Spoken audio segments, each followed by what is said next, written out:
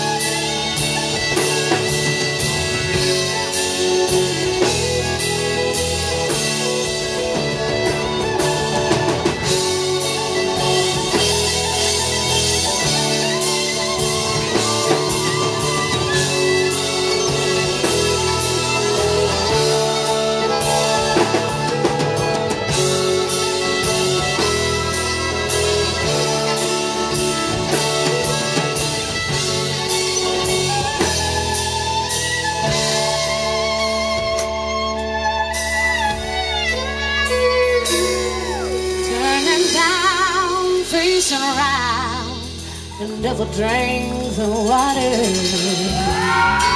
It was they told him long ago.